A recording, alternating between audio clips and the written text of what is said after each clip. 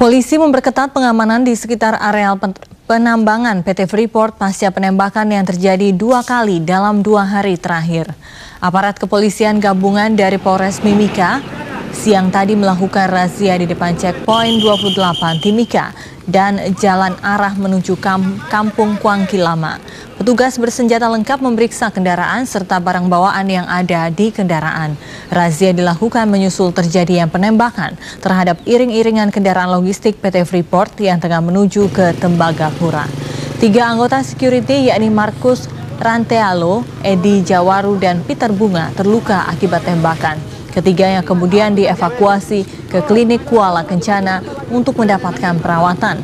Namun kemudian dilaporkan Markus meninggal dunia akibat luka tembak yang dideritanya.